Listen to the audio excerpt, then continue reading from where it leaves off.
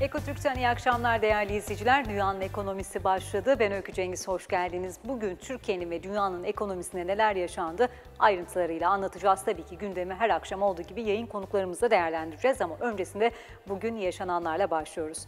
Türkiye Cumhuriyet Merkez Bankası enflasyon beklentilerini yükseltti. Türkiye Cumhuriyet Merkez Bankası Başkanı Şahap Kavcıoğlu yılın 3. enflasyon raporunu açıkladı. Merkez Bankası 2021 yıl sonu için %12,2 olan enflasyon tahminini %14,1 olarak yukarı yönlü güncelledi. Merkez Bankası 2022 yıl sonu için %7,5 olan enflasyon tahminini %7,8 olarak revize etti. 2023 enflasyon tahminini ise %5 olarak korudu. Kavcıoğlu konuşmasında ikinci çeyrekte büyümenin baz etkisiyle oldukça yüksek olacağını bildirdi. Türkiye'de ilk çeyrekte yıllık büyümeye en yüksek katkının sanayi ve hizmet sektörlerinden geldiğini belirten başkan, öncü göstergeler iktisadi faaliyetin ikinci çeyrekte gücünü koruduğunu gösteriyor. Salgın tedbirlerinin kademeli olarak kaldırılması iktisadi faaliyeti destekliyor açıklamasını yaptı. Ve FED federal fonlama faizinde değişiklik yapmadı. FED'den yapılan açıklamada en az 120 milyar dolar olan varlık alım programı sürdürülecek. Ekonomik aktivite ve istihdam güçlenmeye devam etti. Ekonomi, tahvil alımlarını azaltmak için koyulan hedeflere ilerleme kaydetti. FOMC gelecek toplantılarda ilerlemeyi değerlendirmeye devam edecek. Ekonomiyi desteklemek için tüm araçlar kararlılıkla kullanılacak. Ekonomide Covid-19 kaynaklı risklerse devam ediyor ifadelerine yer verildi. Açıklamada enflasyon geçici faktörler nedeniyle yükseldi. Pandemiden en fazla zarar gören sektörler henüz tam olarak toparlanmadı denildi. FED para politikasının etkin uygulanması ve düzenli piyasa işleyişini desteklemek için iki repo programının oluşturulduğunu duyurdu. Amerika Birleşik Devletleri ekonomisi %6,5 büyüdü. Amerika Birleşik Devletleri ekonomisinde ikinci çeyrekte büyüme piyasa beklentilerinin oldukça gerisinde kaldı. Ancak gayri safi yurt içi hasıla pandemi öncesi seviyeye dönmeyi başardı. İkinci çeyrekte Amerika Birleşik Devletleri'nde gayri safi yurt içi hasıla geçen yılın aynı dönemine göre %6,5 arttı. Ekonomistler ise %8,4 büyüme bekliyorlardı. İlk çeyrek için gayri safi yurt içi hasıla büyüme oranı ise %6,4'ten %6,3'e revize edildi. Ekonomistler Amerika Birleşik Devletleri ekonomisini 2021 yılının tamamında %7 büyümesini bekliyorlar. Bu beklenti gerçekleştiği takdirde 1984'ten bu yana görülen en hızlı büyüme olacak. Tüketici harcamalarının %11,8 arttı. İkinci çeyrekte çekirdek kişisel tüketim harcamaları fiyat endeksi %6,4 yükseldi ve ekonomik güven endeksi yükseldi. TÜİK Temmuz ayına ilişkin ekonomik güven endeksi verilerini açıkladı. Buna göre endeks Haziran'da 97,8 iken Temmuz'da %2,3 artarak 100,1 değerine yükseldi. Ekonomik güven endeksinde artış tüketici, reel kesim, hizmet, perakende, ticaret ve inşaat sektörü güven endekslerindeki artışlardan kaynaklandı. Reel kesim güven endeksi Temmuz'da aylık bazda %2,1 artarak 112,1 değerini, hizmet sektörü sektörü güven endeksi %5,8 artarak 114,8 değerini Perakende ticaret sektörü güven endeksi %3,7 artarak 109,6 değerini, inşaat sektörü güven endeksi ise %4,7 artarak 86,3 değerini aldı. Amerika Birleşik Devletleri Senatosu 1,2 trilyon dolarlık altyapı paketi hazırlığında. Amerika Birleşik Devletleri Senatosu Başkan Joe Biden'ın önerdiği 1,2 trilyon dolarlık altyapı tasarısının tartışma ve oylama aşamasına geçilmesi için gerekli usul oylamasını tamamladı. Senatörlerin altyapı tasarısının içeriği üzerinde anlaşmaya vardıklarını açıklamasının ardından tasarının görüşmelerine başlanması için ilk adım atıldı. Bu kapsamda altyapı tasarısının tartışma ve oylama aşamasına geçilmesi için gerekli usul oylaması gerçekleştirildi. Tasarının görüşmelerine başlanması 32'ye karşı 67 oyla kabul edildi. Söz konusu oylamada 17 Cumhuriyetçi ve 50 Demokrat senatör evet oyu kullandı. Bugün bu haberler konuşuldu değerli izleyiciler aktarmış olduk. Tabii ki yayın konuklarımızla da gündemi konuşacağız. Bugün kimler eşlik edecek yayınımızı hemen aktaralım. Bahçeşehir Üniversitesi öğretim üyesi doçent doktor Hakkı Öztürk birazdan gündemi değerlendirmek üzere yayınımıza eşlik edecek. Bir diğer yayın konuğumuz ekonomist doktor Fatih Anıl olacak.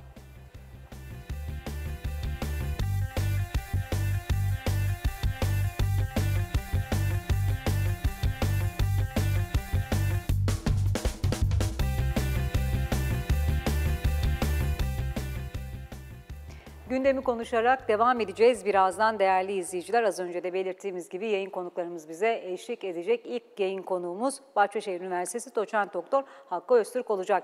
Ama öncesinde şimdi piyasalara bakalım. TL çaprazlarla başlayalım. Son seviyeleri ekranlarınıza getiriyoruz. Dolar TL'de bir miktar düşüş söz konusu 8.50'nin altına indi. %-1,12'lik bir düşüşle 8.45 seviyesinde. Euro dolarda da düşüş var. Eksi 0,67 oranında 10.06 seviyesinden işlem görüyor. Pound TL 11.80, İsviçre frangı TL 9.33 ve sepet kurun 9.26 seviyesinde olduğunu söyleyebiliriz. Avrupa borsalarına bakalım şimdi. Tüm endeksler yukarı yönlü şu saatlerde. Eurostox 50 4114 puanda, Almanya DAX 30 15642, Fransa Kakaran 6634, İngiltere FTSE 100 7076 ve İspanya IBEX endeksinin 8780 puandan işlem gördüğünü söyleyebiliriz diyelim ve Amerikan endekslerine bakalım. Amerikan endekslerinde de tüm endeksler yukarı yönlü. Dow Jones 35.048 puandan işlem görüyor şu saatlerde. S&P 500 4417 ve Nasdaq endeksinin 15.064 puandan işlem gördüğünü söyleyebiliriz. Diyelim ve paritelerdeki son seviyeleri getirelim ekranlarınıza. Dolar endeksinde %0,39'luk bir düşüşte 91.91 seviyesini görüyoruz. Euro dolar 1.18, pound dolar 1.39 dolar yani 109.56 ve dolar İsviçre frangı 0.90 seviyesinden işlem görüyor. Emtia piyasasına da bakalım. Ons altında bir miktar yükseliş söz konusu 1800 doların üzerinden işlem görüyor. %1,33'lük bir yükselişte 1830 dolarda olduğunu söyleyebiliriz. Brent petrolde %1,26'lık bir yükselişte 74 dolar seviyesini görüyoruz. Ve ham petrolde %1,28'lik bir yükselişte 73 dolardan işlem görüyor.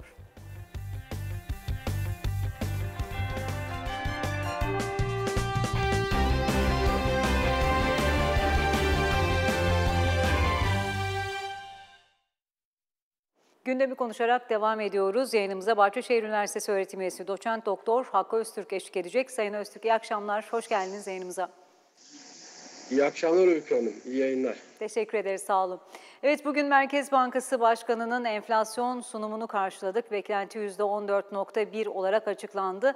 Daha önceki beklenti %12 seviyelerindeydi. Nasıl değerlendiriyorsunuz bu revizeyi? Sizce rakam hala iyimser mi? E zaten önceki yaptığımız yayınlarda da e, konuşmuştuk. E, piyasada hem fikirdi. E, yani şu ortamda e, tüfe zaten 17,5, üfe %43, gıda enflasyonu %20. E, yıl sonu e, enflasyon tahmini Merkez Bankası'nın 12.2. Tabii ki e, gerçekleşmesi olanaksız bir e, rakam tahmindi. Dolayısıyla bunu yukarı yönlü revize etmesi gerekiyordu. E, yukarı yönlü de revize etti. E, yani %70 olasılıkla 2021 yılı sonunda bu orta noktası tabii 14.1 olmak üzere e, alt e, bandı 12.2 e, üst bandı da %16 e, civarında yani orta noktası %14.1 olacak şekilde yukarı yönlü revize etti. E, ama e, ben bunun da e, şu an için iyimser olduğunu düşünüyorum. E, zaten e, en son e, yapılan e, piyasa katılımcıları anketinde de e, piyasa tarafından beklenen enflasyon e, %15.6 civarında.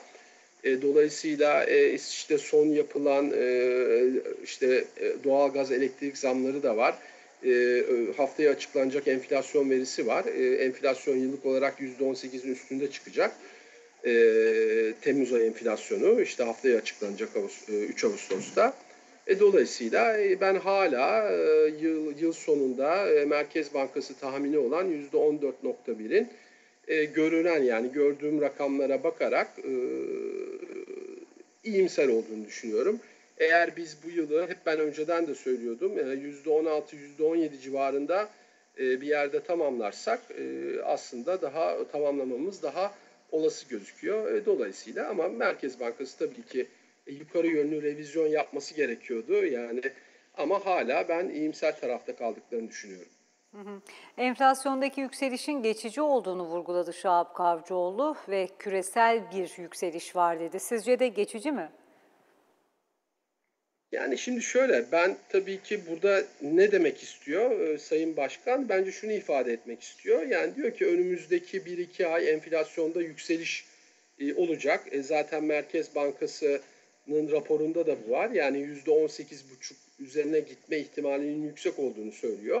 Ama bundan sonra diyor özellikle 2020 son çeyrekte özellikle Kasım ayı ile beraber enflasyonda belirgin bir düşüş beklediklerinden dolayı e, enflasyonun e, önümüzdeki bir ay, bir iki ayda volatilitesinin yüksek e, geçici olacağını e, söylüyor. E, ama e, burada işte kısa vadede oynaklık geçici olarak enflasyonu bence nitelemek e, biraz riskli olduğunu e, düşünüyorum.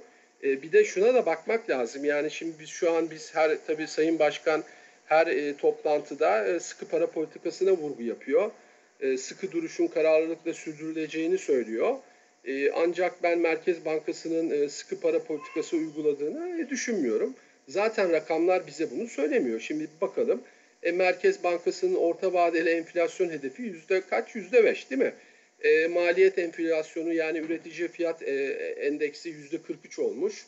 Gıda yüzde 20, e, gıda ve enerji fiyatları hariç çekirdek enflasyon çok önemli yüzde 17,5, e, tüfe 17,5. E, zaten Merkez Bankası söylüyor enflasyon beklentileri yüksek, e, küresel enflasyon artıyor, risklerin yukarı olduğunu söylüyor. E, bu durumda politika faizi yüzde 19 ve aynı zamanda şimdi ilk 6 aylık enflasyon oranına bakalım. İlk 6 ay boyunca %8,5, 8,45, yüzde 8,5 civarında bir ilk 6 ayda enflasyon var. E şimdi bakalım mevduat faizi ilk ay 6 ayda net e, yüzde 8,5 e, mevduatına faiz kazanabildi mi net? E hayır kazanamadı yani baktığımız zaman.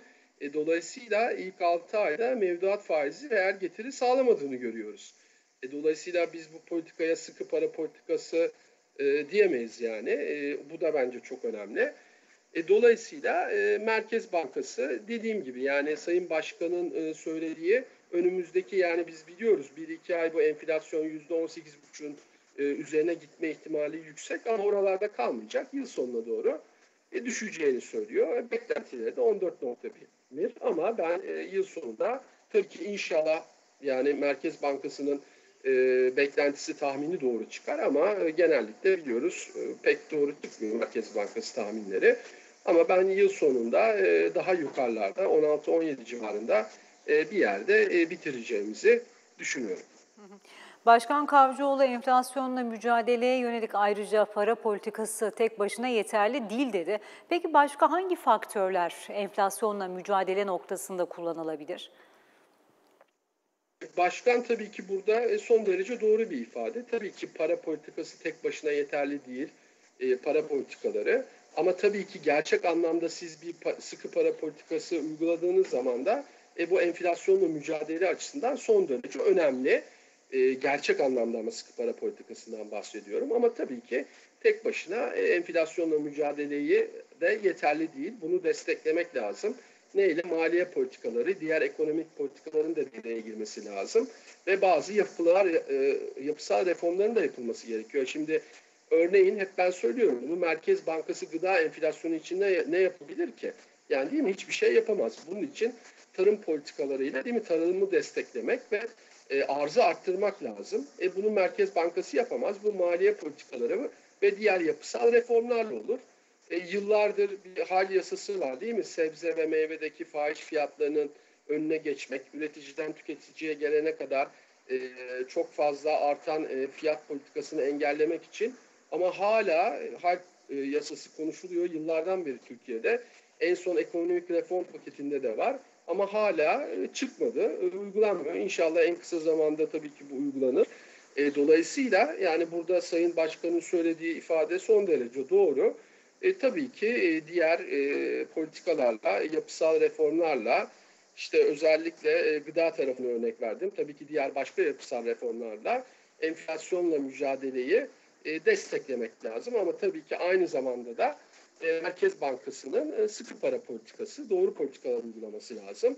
E, ve enflasyon be beklentilerini e, doğru e, yönetmesi ve çıpalaması da aslında Merkez Bankası'nın görevi, para politikasının sorumluluğunda. Ama biz baktığımız zaman e, yukarı yönlü bozulan hep işte enflasyon beklentileri var. E, yılbaşından beri bakın e, hep enflasyon beklentileri Türkiye'de yukarı yönlü bozuluyor. E bu da demek ki para politikasında bir sıkıntı, bir problem olduğunu da gösteriyor. Onu da söylemek lazım. Şimdi Merkez Bankası'nın enflasyonla mücadelede yalnız bırakıldığının da altı çizdi Merkez Bankası Başkanı. E, Burada ne demek istedi sizce? Biraz iş dünyasına mı seslendi?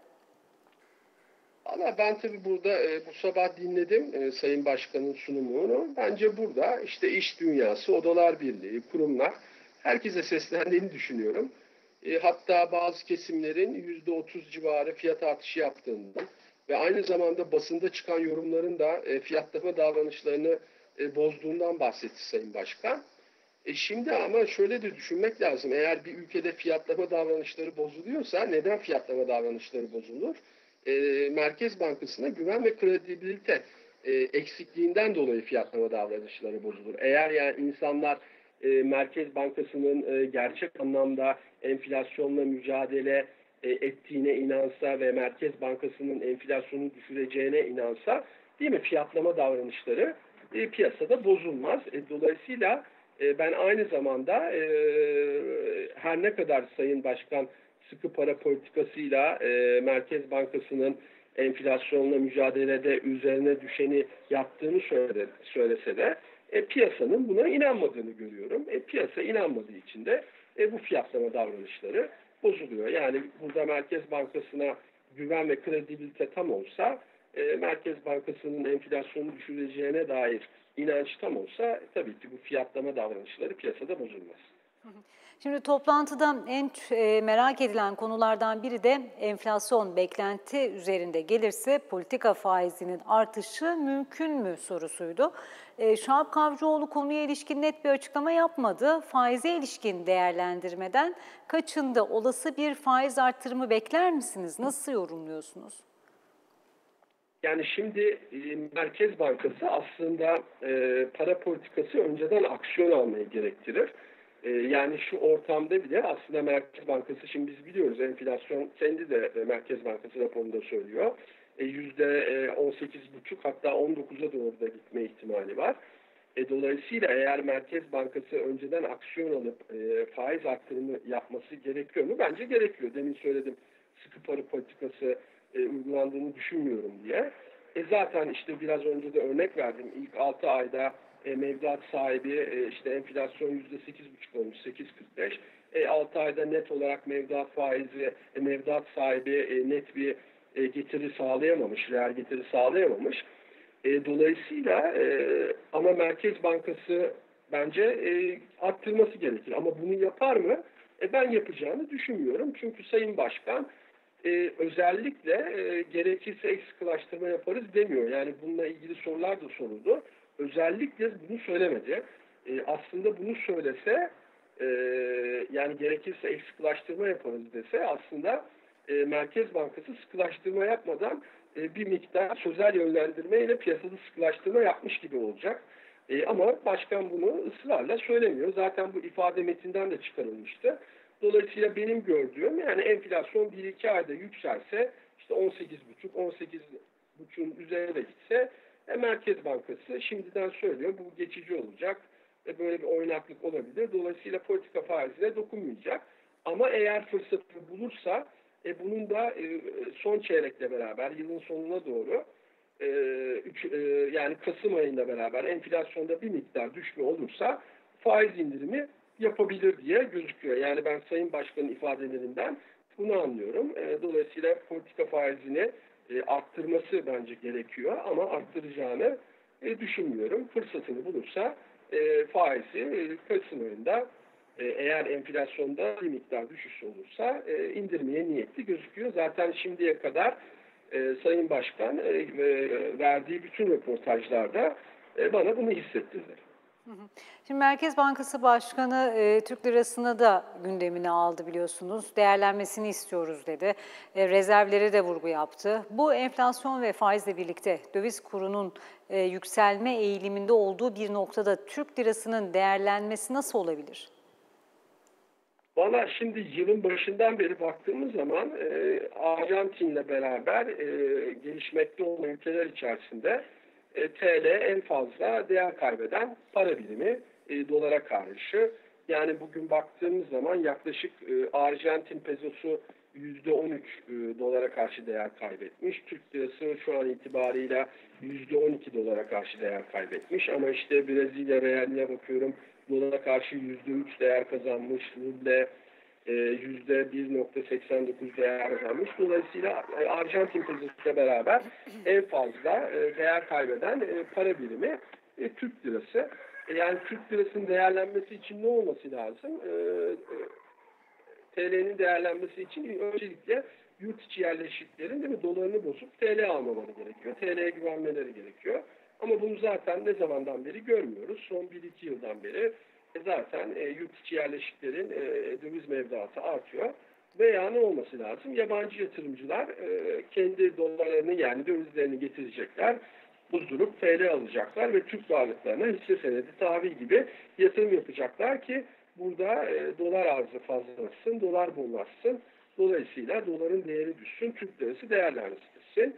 E, ama yatır, yabancı yatırımcılar da işte e, son e, özellikle aslında son e, bir iki yıldan beri Türk varlıklarına hisse senedi tahvil gibi rağbet göstermiyorlar.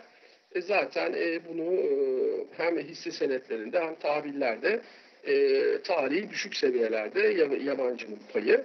Dolayısıyla burada TL'nin değerlenmesi için dediğim gibi yani en azından kısa vadede yabancı yatırımcıların gelip Türk varlıklarına yatırım yapması gerekiyor. Ama bu ortamda da e, bu çok fazla gözükmüyor. Şimdi rekabetçi kur anlayışına sahipti ekonomi yönetimi. Bizimle aynı ligde bulunan para birimlerine göre TL negatif ayrışan bir noktada. E, buradaki değerlenme, değerlenmeden kasıt kurdaki geri çekilme mi yoksa volatilitenin azalması mı? Değerlemeden zaten kurda son baktığımız zaman e, volatilite e, son e, bir buçuk iki aydan beri aslında volatilite yani standart saptan düşmüş durumda. E, buradaki kasıt tabii ki TL'nin değerlenmesi bence. E, ama e, dediğim gibi e, yani bunun e, değerlenmesi için de belli şartlar var. E, hem yurt içi yerleşiklerin e, hem de yurt dışı e, yabancı yatırımcılarının e, TL'ye güvenmeleri gerekiyor. Ama her iki tarafta e, dolayısıyla işte bunu rakamlardan görüyoruz. Şu an için e, Türk lirasına e, güvenmiyorlar. Yani buradaki kasıt bence e, TL'nin değer kazanması. Yoksa oynaklık e, son zamanlarda zaten görüyoruz. İşte kur e, 8.50 ile 8.60 hatta şu anda 8.50'nin de altında. E, biraz tabii ki e, dünkü FED'den sonra e, dolar endeksinin zayıflamasıyla beraber e, değer kazandı e, Türk lirası. E, ama e, şu an için gözüken e, zaten e, oynaklık e, son zamanlarda volatilite azalmış durumda. E, ama e, demin de söyledim e, yıl başından beri baktığımız zaman da e, Türk lirası e, diğer gelişmekte olan e, para birimleri içerisinde Arjantin pezosu ile beraber e, dolara karşı en fazla değer kaybeden para birimi. Bir parantezde feda açmak isteriz. E, faizde bir değişim gelmedi beklentilere paralel olarak. E, Powell tahvil alımına yönelik yeni kararlar için de veriler izlenecek dedi. Nasıl yorumluyorsunuz? E, aslında FED, e, Powell e, yani ne zamandan beri yaptığı toplantılarda e, bir söylem değişikliği yok. E, her zaman e, toparlanma tamamlanana kadar e, para politikasını destekleyici kalmaya devam edeceğini söylüyor. E, enflasyonun aslında e, yani geçici olacağını ama eğer ki daha yüksek tahminlerinden daha yüksek biraz daha kalıcı olursa Fed'in harekete geçeceklerini ama enflasyonun bu yıl için yüksek kalabileceğini ama 2022 yılında e, kademeli olarak düşüşe geçeceğini söylüyor. Dolayısıyla her zaman istihdama e, vurgu yapıyor. İstihdamda e, her ne kadar tabii pandemiden sonra ciddi bir toparlanma var ama kayda değer e, pandemi öncesine göre e, hala e, toparlanmanın gerektiğini e, söylüyor. E, dolayısıyla e, e, demin de söyledim. E, tahvil alımlarına da e, tahvil tapering yani tahvil alımlarının azaltılmasını e, tartışmaya başladıklarını ama şu an için e, bir takvim olmadığını, e, 120 milyar dolar, dolar olan e, varlık alım programının süreceğini söylüyor. Ama FED en sonunda e, yani artık 2023'ün e, en erken e, 2000 e, pardon 2022'nin e, başında e, tahvil alımının e, tapering'e gidebilir. E, ama e, faiz arttırımı da zaten e, 2023'ün sonuna kadar en son yapılan toplantıda iki tane faiz artışı bekleniyordu. Yani 2023 yılında da en sonunda artık FED e, faizleri arttıracaktır. Ama tabii ki burada e, Amerika'daki toparlanma da burada en önemli şey olan istihdam da çok önemli olacaktır. E, zaten bugün Amerika'daki büyüme rakamı da geldi. E, manşet büyüme rakamı yüzde altı buçuk açıklandı. Yalnız tabii ki burada e, bunu da söylemek lazım. E, bu rakam e, yıllıklandırılmış bir rakam. Yani bir önceki çeyreğe göre yıllıklandırılmış rakam. Aslında Amerikan ekonomisi e, bazen çünkü bu yanlış da yorumlanıyor. Bir önceki çeyreğe göre e, yüzde 1.59 civarında bir büyüme kaydetti. Ama siz bunu yıllıklandırdığınız zaman e, 6,5 rakamına yani bileşiklendirdiğiniz zaman 6,5 rakamına ulaşıyorsunuz. E, dolayısıyla e, Amerikan ekonomisi e, ne kadar hızlı toparlanırsa e, istihdamda ne kadar e, istihdam piyasası da ne kadar e, hızlı toparlandığı takdirde e, FED ona göre aksiyonlarını e, alacaktır. Önce ne yapacaktır? Önce e, tahvil alımını azaltacaktır, tapering yapacaktır. Ondan sonra belli bir süre sonra da e, zaten eğer enflasyon beklediğinden de yüksek kalırsa e, faizleri arttırımına gidecektir. Peki doçent doktor Hakkı Öztürk çok teşekkür ediyoruz katılımınız ve değerlendirmeleriniz için. Ben ben teşekkür ederim Öykü Hanım. İyi akşamlar. İyi, iyi akşamlar. Sağ olun. Değerli izleyiciler şimdi kısa bir ara vereceğiz. Arının ardından gündemi konuşmaya devam edeceğiz. Yayınımıza ekonomist doktor Fatih Anıl eşlik edecek ama öncesinde kısa bir ara.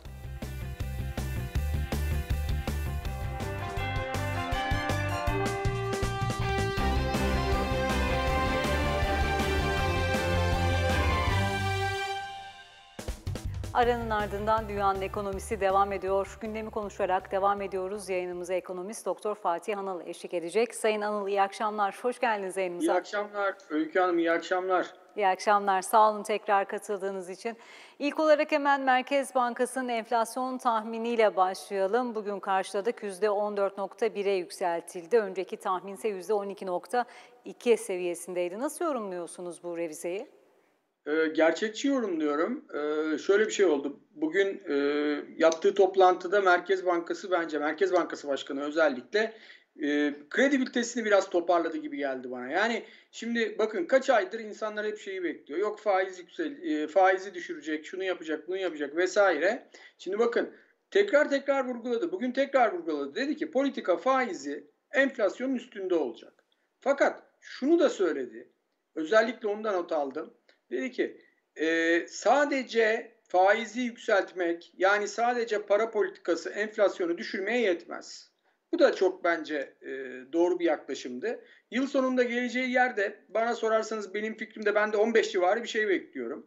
Bir yer bekliyorum.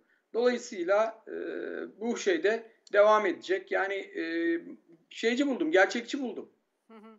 Peki yıl sonu beklentisi %14.1 dedik. Beklenti üzeri bir rakamla karşılaşırsak Merkez Bankası'nın politika faizinde bir değişim gerçekleşir mi? Ee, beklemiyorum. Yani şöyle bekliyorum. Eğer beklentinin üstü zaten şu anda 19. Dünyanın e, en yüksek faizini veriyoruz zaten şu anda hemen hemen. E, enflasyonumuz da en yüksek. Fakat burada ne olabilir? Biraz daha çıkarsa diyelim ki şu anda zaten 18'lerde, 17, 50, 18'lerde bir enflasyon var. E, ya önümüzdeki hafta açıklanacak olan enflasyonla birlikte küçük bir parça yükselse bile bu faiz korur diye düşünüyorum. Yani bu faizden yani e, 19'luk bir oran bence yeterli olacaktır. Çok ciddi faiz veriyoruz. 19 ciddi bir rakam ve bunun e, enflasyonda gerileme bekliyoruz. Şunu da ekleyeyim. Şimdi e, hep şu başkan dedi ki biz yalnız bırakıldık dedi. Bir yerde katılıyorum. Evet e, firmalar özellikle sanayi firmaları zamları yaptılar. Birçok kişi zamları yaptı. E, burada e, kısmen yalnız bırakıldı Merkez Bankası. Tek başına bırakıldı. Önce bir güven sorunu vardı. O kademeli olarak bence çözülmeye başlandı. Yani kredibilite toparlanmaya başlıyor diye düşünüyorum. Ve piyasa artık şuna inandı ki bakın bugün doların hareketinde de bunu görüyoruz. Dolar olması gereken yerin çok üstünde TL ile ilişkili olarak söylüyorum. Yani 8.70'ler, 8.60'lar yüksek. Bakın bugün 8.45'lere kadar geriledi dolar. Normalde daha da gerilemesi lazım. buradaki yaklaşık %5 ile 10'luk bir e, prim, Çin'deki primin ben Merkez Bankası'nın kredibilitesiyle alakalı olduğunu düşünüyorum. Bu kredibilite sağlandıkça yani Merkez Bankası böyle birden faizleri düşürmeme şeklinde devam ederse kademeli bir düşürme belki 3. çeyrekte olabilir. Hakikaten 15'lere gerilerse bu enflasyon düşürebilirler de. Bunu da bekliyorum ayrıca. Ve burada kredibiliteyi de sağlamış olacak. Yani önümüzdeki 3 ay Merkez Bankası için çok önemli. Ee, sağlam adımlarla gitmesi gerekiyor. Ve bakın ciddi miktarda son bir aydır döviz giriyor. Yaz aylarında normalde e, TL'nin değer kazanması lazım ve bence bugünden itibaren o başladı gibi geliyor. Bir aksilik olmazsa, bu jeopolitikte bir sıkıntı olmazsa e, sanki e, kurda bir gevşeme göreceğiz. En, önümüzdeki bir ay boyunca, bir buçuk ay boyunca enflasyonda bir gevşeme göreceğiz diye düşünüyorum. Belki bir artış daha göreceğiz önümüzdeki hafta ama ondan sonra kademeli olarak bir gerileme. Ben e, şu üfenin zaten Kasım'dan beri yedirildiğini düşünüyorum. Onun için üfenin de tekrardan yani üretici fiyat endeksinin tekrar enflasyonu e, yükselteceği yönünde bir şeye çok katılmıyorum. Görüşe bir katılmıyorum bu saatten sonra. Yani 14-15 arası bir yerde yıl sonunu toparlar diye düşünüyorum. Merkez Bankası Başkanı Kavcıoğlu kura ilişkinde açıklamalarda bulundu biliyorsunuz. Hı. Değerli bir TL istiyoruz mesajı verdi. Peki hangi adımlar atılabilir bu noktada? Bakın ben burada birkaç yayındır söylüyorum. Benden başka çok değinen de yok bu konuya, konuya Öykü, Hanım. Hatırlarsanız diyorum ki şimdi swaplarla ilgili konuştu başkan. Burada yapılması gereken eğer bu kurların geri gitmesi isteniyorsa Öykü Hanım kalkıp Amerika ile bir şekilde Fed'le bir şekilde bir swap anlaşması yapılması lazım. Yani teknik kadroların buna çalışması lazım. Güçlü ekonomilerle swap anlaşması yapılması lazım. Ticari ilişkimizin az olduğu, e, dünya ekonomisinde çok payı olmayan ülkelerle yapılan swapların bence çok etkisi yok. Ama kalkıp yarın önümüzdeki günlerde Fed'le bir swap anlaşması yapılırsa biz bu e, dolar TL'de daha da bir gevşeme görebiliriz. Yani 8'in altını görebiliriz. Ha değerli TL çok da iyi bir şey değildir. Yani burada benim e, burada yani görmek istediğim yer 7.58 arası sağlıklı kurdur. Ama 7.50'nin altı bu saatten sonra ihracatta rekabet gücüne zarar verebilir. Tekrar ithalatı patlatabilir. Yani şimdi bir takım yabancı kuruluşlar işte diyorlar ki yıl sonunda şöyle olacak böyle olacak. Jeopolitikte bir sıkıntı çıkmazsa, e, majör bir hata yapılmazsa ekonomide, ekonomi yönetiminde ben kurun buralarda seyredeceğini düşünüyorum. Ama kalkıp yarın bir sürpriz olur. Çok iyi bir sürpriz olur. FED'le bir swap anlaşması yapılır. O zaman işte kurda daha çok gevşeme görürüz. Ki atılması gereken en önemli adım o. Merkez Bankası Başkanı şunu da belirtti. Dedi ki sadece para politikası değil maliye politikasıyla da desteklenmesi lazım. Evet onu da görüyoruz işte. Vergilerde kurumlar vergisinde bir artış oldu. İşte 22'den 25'e çıktı. Bunu da görüyoruz. Ee, evet maliye politikasında da e, yapısal tedbirler e, tekrar gündeme gelebilir. Her programda bunu tekrarlıyoruz ama bununla ilgili adımlar atılabilir. Ekonomi dışı bir takım şeyler diyoruz. İşte politik istikrar, jeopolitikte bazı şeyler. İşte çok konuşulan bir göçmen konusu var. Girmek istemiyorum şu anda o konuya. Bunlarla ilgili olumlu adımlar atılırsa hani para politikasının dışında da e, bir takım ekonomi dışı olaylarda iletişim toparlanırsa kurda gevşeme, Dolayısıyla enflasyonda gevşeme yaşayabiliriz. O zaman bir de şöyle soralım. Sektörel bazda bakacak olursak da ekonomik aktörler kurda geri çekilme isterler mi? İhracatçılar, turizmciler vesaire kurdaki geri çekilmeden rahatsız olur mu? Şimdi şöyle e, Öykü Hanım, benim bir tarafım sanayide olduğu için şunu söyleyeyim size. Sanayici çok dalgalı kur istemiyor. Sanayici istikrar istiyor. Buralar yani bu 8 seviyeleri ben şöyle diyeyim size 7.50 ile 8 arası kimseyi rahatsız edecek bir kur değil.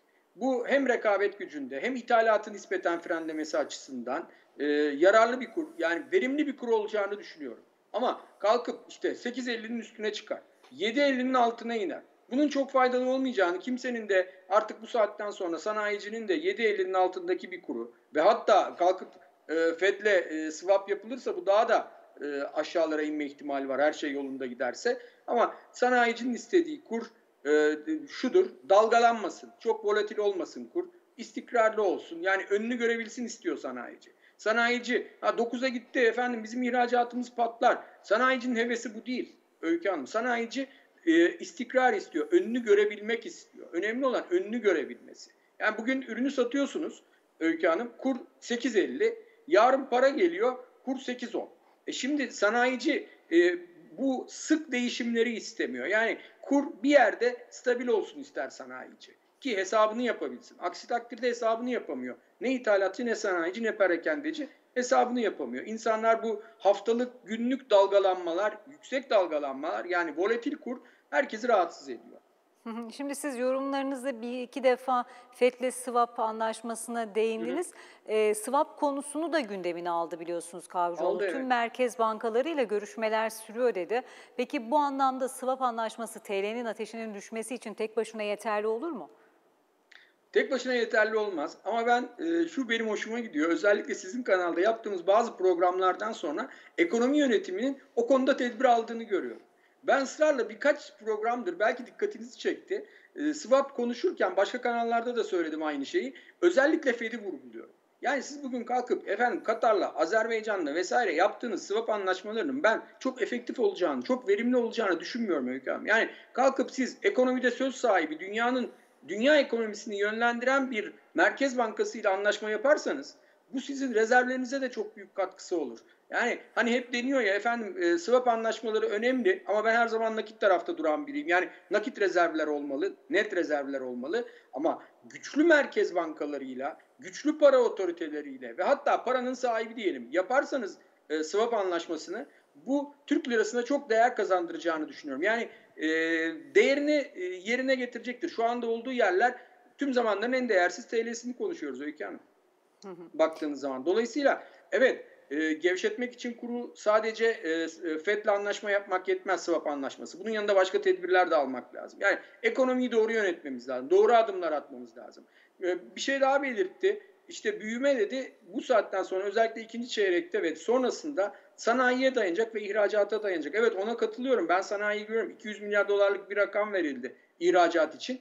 Ee, her şey yolunda giderse ben bunun yakalanacağını da düşünüyorum. Yani bugüne kadar biz obez büyüdük ülke olarak. Nasıl obez büyüdük? Tüketime dayalı bir büyümeyle gittik. Efendim bir de bunun yanında inşaat işte yollar yaptık, binalar yaptık buna dayanıyordu büyüme.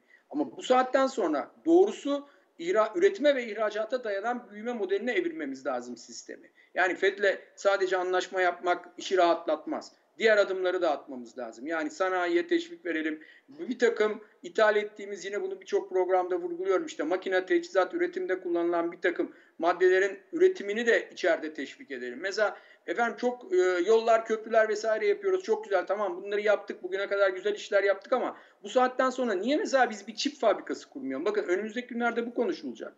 Yani üretim duracak birçok sektörde çip yüzünden. Türkiye'de neden bir çip fabrikası kurmayız? Neden devlet bunun için bir destek vermez? Bunlar düşünülmeli, bunlar konuşulmalı. Eğer bunları iyi yönetebilirsek biz önümüzdeki seneden itibaren artık cari açık değil, cari fazla vererek büyümeye başlayabiliriz. Ben yine o taraftayım. Şunu diyorum Öykü Hanım, bakın biz altın ve enerji hariç aslına bakarsanız cari açık vermiyoruz. Dolayısıyla işte güzel haberler de geliyor. Ateş yakılmaya başlanmış şeyde e, Karadeniz'deki 2023'e yetiştirilmesi çalışıyormuş vesaire. Evet bunlar güzel hareketler. Biz enerji işini, işini çözersek zaten altın ithalatı da azalmaya başladı. Enerji işini de çözersek, iyi de yönetirsek bu işleri her şey yoluna girmeye başlar. Biraz pozitif mi konuştum Öykü Hanım? Bugün olumlu mu baktım? Gerçi içim kan ağlıyor bu şeyden ötürü. E, yurdumuz yanıyor. Yani birçok yerdeki bu yangınlardan ötürü ama işimizi de yapmak zorundayız. Ekonomiyi de konuşmak zorundayız. Evet pozitif haberleri ve pozitif yorumlara e, şu günlerde ihtiyacımız oldukça var. ihtiyacımız var gerçekten. Evet. Evet. E, bugün aynı zamanda ekonomik güven endeksini de karşıladık. 97'li seviyelerden 100.1 seviyesine ulaştı. Bu yükselişi nasıl değerlendiriyorsunuz? Şimdi şöyle bir defa son iki ayda aşılamada e, iyi gidiyoruz. Bayağı zaman kaybettik bu işte. Fakat son iki ayda iyi gidiyoruz aşılamada. Burada e, ben tabii ki insanları çok fazla yönlendirmek istiyorum. Ben iki aşımı da oldum. Mutlaka siz de kanalda olmuşsunuzdur. Bununla ilgili ben tedbir alınacağını düşünüyorum. Şimdi vakalar artıyor işte 20 binlere çıktı vakalar. Fakat gelen haberler, istatistik bilgiler şunu diyor Öykü Hanım. E, vakaların %98'i özellikle hastaneye yatanların e, ve kayıpların %99'a yakını aşı olmamış olanlarda. Dolayısıyla aşıyla ilgili eğer bu vakalar artmaya devam ederse bir takım tedbirler alınacağını göreceğiz. Çünkü artık her, herkes şunu kabul ediyor. Sadece Türkiye için değil. Yeni bir dördüncü dalgada ekonominin tekrar kapanmaması lazım. Yani artık sistem bunu kaldıramaz. Özellikle hizmet sektörü başta olmak üzere tekrar kapanmayı kaldıramaz. Onun için bütün dünyada bir takım tedbirler alacağını, alınacağını görüyoruz. Yani burada bir aşı karnesi çıkabilir. E, bununla ilgili bir takım şeyler olacak ve e, iki gün önce e, Birleşmiş Markalar Derneği Başkanı da aynı şeyi söyledi. Perakende çok canlı. Öyle haberler geliyor. Piyasa çok canlı. Şu anda bir ertelenmiş talebin, tabii bu da enflasyonu bir yerde azdırıyor. E, e, ertelenmiş talebin devreye girdiğini görüyoruz. İnsanlar alışveriş yapıyorlar. İnsanlar seyahat ediyorlar. Şimdi gittiğiniz zaman güney sahilleri tamamen dolu. Otellerde yer yok. Hem turist var hem yerli turist var. E, insanlar parası olanlar diyeyim harcıyorlar bir şekilde ve borçlanarak da harcayanlar var. Dolayısıyla burada e, güven arttı. İleriye dönük olarak nispi olarak güven arttı. Yani artık bu e, son bir buçuk senede yaşadıklarımızdan sonra artık insanlar olumlu bakmaya başladılar. Bu güven endeksinin artmasını buna bağlıyorum. Yani sokaklara çıktı. İnsanlar kendilerini sokaklara attılar. Onu görüyoruz. Evet. E, bugün gündem enflasyon. Şimdi sürekli konuşuyoruz. Başkan. Kavcıoğlu enflasyonun küresel anlamda herkesi ilgilendiren bir sorun olduğunu söyledi biliyorsunuz. Yarın Avrupa'da da tüfe rakamlarını karşılayacağız. Evet. Beklentiler evet. neler? Şimdi şöyle iki civarı bir enflasyonla gidiyor biliyorsunuz e, Avrupa. Ben bunun çok yükseleceğini zannetmiyorum. Yani 2 ile 3 arasında maksimum diyorum. Yani yine 2 civarında bir yerde çıkacak. Çok küçük bir artış olabilir enflasyonda. Tabii bir, bir taraftan da senelerdir hep konuştuğumuz hantal Avrupa enflasyon yaratmaya çalışıyor bir yerde. Çünkü o kadar durağan ki ekonomisi Avrupa'nın. Dolayısıyla bir canlandırma hareketleri de istiyorlar. Yani ikiye kadarlık bir enflasyonu da bence 1-2 ay e, taşıyabileceklerini düşünüyorum. Yani hafif bir artış görebiliriz enflasyonda. Ama Amerika'daki gibi bir olay beklemiyorum Avrupa tarafında. Çok küçük bir artış olabilir. Çok küçük veya aynı kalır. Peki FED tarafına da biraz değinelim. Faiz değişmedi. Tahvil alım miktarındaki değişim içinse veriler izlenecek dedi Powell. Nasıl yorumluyorsunuz FED kararını? Şimdi e, çok yatay geçti diyeyim size. Ve olayları izliyorlar. Hiç e, varyanttan bahsetmediler delta varyantından. Dökümanda böyle bir şey yok. Fakat e, şunu biliyoruz ki Amerika toparlanmış olmakla birlikte, aşılama işini çok iyi yönetmiş olmakla birlikte bir e, halen ben genişleme politikasının hiçbir şekilde kesin bir şey yok. Hiçbirimiz bunu söyleyemiyoruz. Önünü göremiyor Amerika'da şu anda ve genişleme politikasına devam edecek. E bunu belirttikten sonra gördük zaten dolar e, bir miktar değer kaybetti ki çok doğaldır. Yani ben genişlemeye devam edeceğim diyor. Eylül'deki toplantı önemli. Fakat ben Eylül'deki toplantıda yine genişlemenin yani tahvil alımlarının aynı miktarda devam edeceğini düşünüyorum. Çünkü hiçbir şey kesin değil şu anda. Dünya olarak konuşuyorum. Yani pandemiyle ilgili evet aşılama başarılı ama bu varyantlar ve aşı olmayan insanların sayılarındaki artışlar tekrar işi e, sıkıntıya sokuyor. Dolayısıyla istihdamda belli bir noktayı yakalayıncaya kadar Amerika e, Fed e, tahvil alımlarına yani genişleme politikasına devam edecek. Bu para saçılmaya devam edecek. Ha, ne zaman duracak? Faiz artışı her yayında söylediğim gibi kısa sürede beklemiyorum. En iyi ihtimalle birazcık netlik kazanırsa e, tahvil alım miktarını azaltırlar. Yapacakları maksimum odur. Onun haricinde genişlemenin ben bu yıl devam edeceğini düşünüyorum Amerika tarafında. Zaten enflasyona da baktığınız zaman altılarda gezen bir enflasyon var. Bu e, çok uzun senelerin rekoru altılardaki bir enflasyon Amerika tarafı için. Bu bir miktar daha artabilir ama her şey yolunda giderse e, Ekim'den itibaren gerileme başlar. Tekrar 5'in altında bir enflasyon görürüz. Yani bu seneyi 5'in altında bir enflasyonla her şey yolunda giderse kapar diye düşünüyorum Amerika tarafı. Peki Fed'in parasal genişlemeye devam etmesi dolar üzerinde nasıl etkili olur? Bu gelişmekte evet, doları, olan e, ülke kurları üzerinde de etkili olur mu? Evet, evet. E, bize zaman kazandırır Öykü Hanım. Nasıl zaman kazandırır? Biz bu işleri içeride toparlayıncaya kadar bunların bu genişleme politikası yani para saçma politikasının devam etmesi bizim elimizi güçlendiriyor. Bizim gibi ülkelerin elini, güçlendiriyor. Dikkat ederseniz geçen hafta işte Macar Merkez Bankası %20 ve 0.20 beklerken 0.30 faiz arttırdı. En az iki defa Rus Merkez Bankası faiz arttırdı. Şimdi tedbirlerini alıyorlar. Ha bizim bu faizimiz yeter ama bu bize e, Amerika Merkez Bankası yani Fed'in faiz arttıracağı ana kadar bir vakit kazandırıyor. En az bu bir 8 ay, 1 yıl arası bir vakittir diye düşünüyorum. Bizim bu aralığı çok iyi değerlendirmemiz lazım. Bizim ve diğer biz gibi olan ülkelerin değil çok iyi değerlendirmemiz lazım. İşleri çok iyi yönetmemiz lazım bu aralıkta. Aksi takdirde e, e, yıl sonundan yani yeni yılın başından itibaren diyelim ilk çeyreğin sonundan itibaren FED faiz artışına başlarsa ha bu da dünyanın sonu değil. Arttırdı arttırdı 0.25 0.50 arttıracak. Yani senelerdir yaşadığımız konu bir anda olay oluyor. Çok fazla etkileyeceğini düşünmüyorum. Çünkü şu anda şimdi bir de şöyle bakmak lazım olaya. E, dünyada hemen hemen veya ilk 20 ülke e, içinde en büyük ekonomi içinde reel faiz veren hemen hemen tek ülkeyiz. E, çünkü Amerika'da enflasyon var %6'lar diyoruz. Faiz 0.25'te. E, Avrupa, Amerika, AB'ye bakıyoruz. İşte ikilerde bir enflasyon diyoruz. Faiz orada da negatif. E, diğer ülkelerde de keza durum çok farklı değil. Ama biz şu anda a, pozitif reel faiz veren bir ülke durumundayız. Ve bu zamanı iyi değerlendirmemiz lazım. Peki, şimdi Amerika Birleşik Devletleri Ticaret Bakanlığı Nisan-Haziran dönemine ait öncü gayri safi yurt içi hasıla verilerini açıkladı ve buna göre Amerikan ekonomisi 6,5 büyüyerek beklentilerin gerisinde kaldı. Nasıl değerlendiriyorsunuz evet. Amerika Birleşik Devletleri ekonomisi Aslında, için bu büyüme rakamını? Ben çok beklentilerin yani tahminlerin gerisinde kaldı ama burada şu yaşanan ortamda halen bu delta varyantının devam etmesini, halen bir takım insanlarda hakikaten e, pandeminin devam etmesini, yine nüfusun bir kısmının aşı protestolarının olması gibi birçok şeyler duyuyoruz bununla ilgili. E, ben e, 6,5'luk bir büyümenin Amerika gibi dev bir ekonomi, ekonominin 6,5 büyümesini gayet e, pozitif buluyorum ve e, bu gidişatla yılı da son yılların rekoru bir büyümeyle e, kapatacağını düşünüyorum. Yani dolayısıyla işte 8,5 bekleniyor da 6,5 geldi. Ben orada çok e, farklı düşünmüyorum. Yani 6,5 benim beklediğim bir rakamdı aslında Amerika için. Peki Doktor Fatih Anıl çok teşekkür ediyoruz katılımınız ben ve değerlendirmeleriniz için.